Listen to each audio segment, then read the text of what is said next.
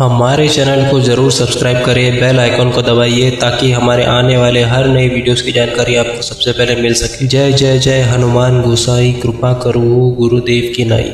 जो सत बार पाठ कर कोई छुट्टी बंदी माँ कोई अर्थात, हे भक्तों के रक्षक स्वामी श्री हनुमान जी, आपकी जय हो। आप मुझ पर श्री गुरुदेव की तरह कृपा करें। जो कोई भी सौ बार इस चालीसा का पाठ करेगा, उसके सारे बंधन सारे कष्ट दूर हो जाएँगे, उसे महासुख की प्राप्ति होगी, अर्थात मोक्ष की प्राप्ति होगी। नमस्कार दोस्तों, कैसे हो आप? हमारे चैनल में आप सभी का स्वागत है। दोस्तों, आज की श्री हनुमान जी से जुड़ी सत्य घटना हमें भेजी है। हरियाणा से हमारे सब्सक्राइबर और श्री हनुमान जी के परम भक्त है। दोस्तों, आज 16 मार्च है। दोस्तों, ठीक चार साल पहले 2016 में हमने जीवन में पहली बार गुजरात के सहारनपुर जाकर श्री कष्टबंधन हनुमान जी के दर्शन किए थे। प्रभु की शरण में जाने के बाद ही हमारा जीवन बदला है। हमने उस बारे में कई बातें हमारे खुद के अनुभव में कही है, जिसके, जिस पे हमने वीडियो भी बनाई है। दोस्तों, आज के दिन हमने प्रभु से अपने लिए कुछ नहीं मांगा। हमने सिर्फ़ एक ही चीज़ मांगी कि हमारा अचूक प्राचीन टोटिए का जो परिवार है, जिनके सपोर्ट से आज हम इस मुकाम पर पहुँचे हैं। वे हमेशा खुश रहे और उनकी हर मनोकामना पूरी हो। बस यही प्रार्थना करता हूँ। दोस्तों, आज के इस अनुभव के बारे में हम एक ही चीज़ कहेंगे कि इस वक्त के अनुभव को देखने के बाद आपका श्री हनुमान जी के प्रति विश्वास सौ गुना बढ़ जाएगा। और दोस्तों, अगर आपने भी श्री हनुमान जी की कृपा या फिर चमत्कार को महसूस किया है तो आप अपना अनुभव हमें कमेंट बॉक्स में बता सकते हैं। हम एक के बाद एक हमारे वीडियोस के ज़रिए आपके अनुभव को शेयर करेंगे। तो चलिए पेश करते हैं श्री हनुमान जी के चमत्कार से जुड़ी एक और ज़बरदस्त वीडियो मेरा नाम अनूप जोशी है और मैं हरियाणा का रहने वाला हूँ। यह बात 2013 की है। उन दिनों मैं एक लड़की से प्रेम करता था, जिसका घर मेरे घर से करीब 30 किलोमीटर की दूरी पे था।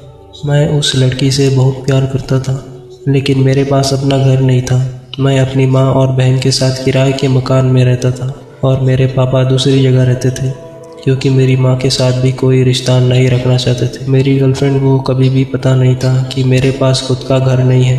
वो भी मुझसे बहुत प्यार करती थी और मैं इसी वजह से बहुत टेंशन में था कि जब उसको और उसकी फैमिली को पता चलेगा कि मेरे पास खुद का घर नहीं है तो उससे मेरी शादी नहीं हो पाएगी। मैं हमेशा मन ही मन बहुत उदास रहता था। मुझे दिन रात बस वही चिंता सताई जा रही थी। मैं रात को सो नहीं पाता था, बहुत रोता था। खैर, में ये बात मेरी माँ को मालूम थी, लेकिन वो भी बेबस थी। तब मैंने एक दिन देखा कि मेरी छोटी बहन हर रोज़ श्री हनुमान चालीसा का पाठ करती थी। तब अचानक मेरे मन में भी ख्याल आया कि मैं भी श्री हनुमान चालीसा का पाठ करूँ।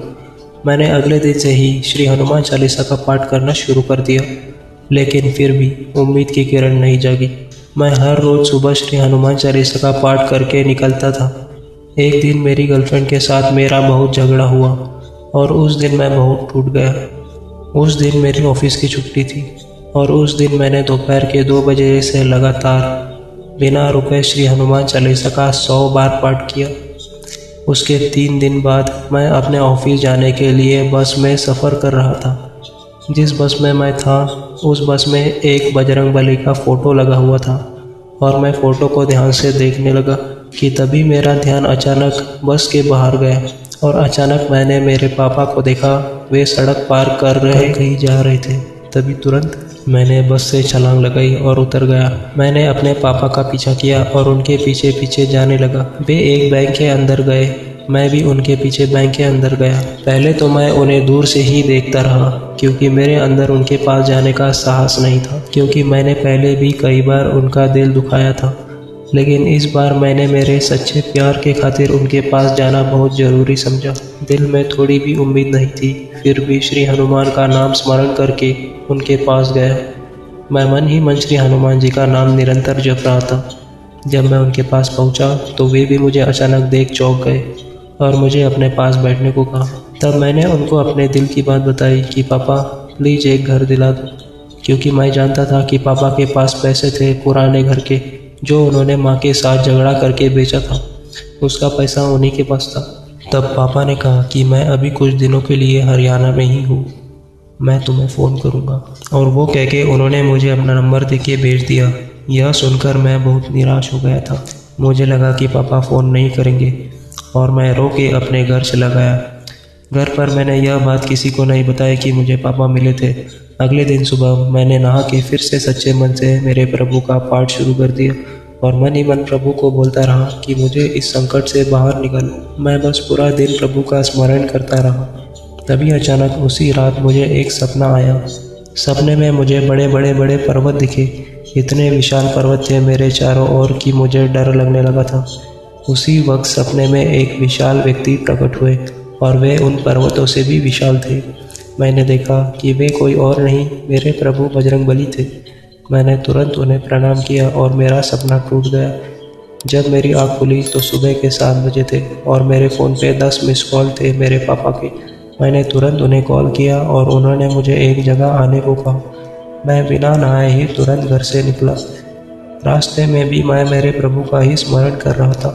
मेरे पापा ने मुझे एक लॉज में बुलाया था। जब मैं वहाँ पहुँचा तो पापा मुझे एक बिल्डर के पास ले गए और उससे मिलाया। बिल्डर ने मुझे वन बी के कुछ फ्लैट दिखाए, क्योंकि पापा के पास लिमिटेड पैसे थे। मैंने एक फ्लैट पसंद किया। शाम को पापा ने उस फ्लैट का साढ़े तेरह लाख रुपए का पेमेंट किया और अगले दिन सुबह ग्यारह बजे मुझे उस फ्लैट की चाबी सौंपी।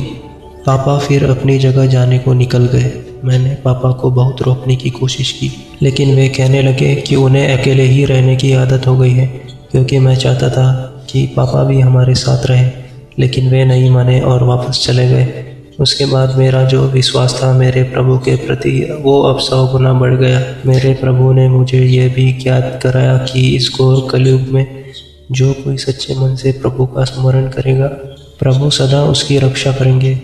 ये जो परिणाम मिला मुझे, वो चार महीने के अंदर ही मिला था। मैं चार महीने में एक ज़िंदा लाश की तरह था। फिर भी मैंने मेरे प्रभु की भक्ति कभी कम नहीं की। यह चमत्कार कहो या मेरे प्रभु की कृपा, ये मैंने खुद अनुभव किया है। अब मेरी शादी भी हो गई है उसी लड़की से जिससे मैं सच्चा प्यार करता था। और मेरी एक नौ महीने की बच्ची भी है। यह सब मेरी प्रभु की कृपा से ही हुआ है। बस एक इच्छा और है कि मेरे पापा हमारे साथ रहे और मुझे पूरा विश्वास है मेरे बजरंग बली पे कि वे मेरी ये इच्छा भी ज़रूर पूरी करेंगे। तो दोस्तों, देखा आपने कैसे हमारे बजरंग बली ने एक और असंभव कार्य को संभव किया। और ये इसलिए संभव हुआ क्योंकि इस भक्त ने अपने जीवन में इतने चैलेंजेस होने के बावजूद प्रभु भक्ति नहीं छोड़ी और प्रभु पर अटूट विश्वास रखा। दोस्तों, श्री हनुमान जी की कृपा आप और आपके परिवार पर हमेशा बनी रहे। बस ऐसे ही प्यार और सपोर्ट करते रहिए। तो दोस्तों, कैसी लगी आज की यह वीडियो? वीडियो को लाइक और शेयर ज़रूर करिएगा, ताकि ज़्यादा से ज़्यादा लोगों तक श्री हनुमान जी की महिमा को हम पहुँचा सकें और हमारे आने वाली वीडियोस भी ज़रूर देखिएगा, ताकि आपको ऐसी ही और जानकारी मिल सके।